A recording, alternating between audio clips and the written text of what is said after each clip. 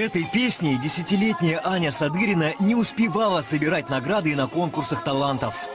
Девочка решила, в Европу всегда успеется, а вот свадьба любимого брата бывает только раз в жизни. И Садырины поехали в деревню к родственникам. На свадьбе Анечка и пела, и плясала. На этом видео ее последний концерт. В роли оператора папа девочки Роман Садырин. Хочу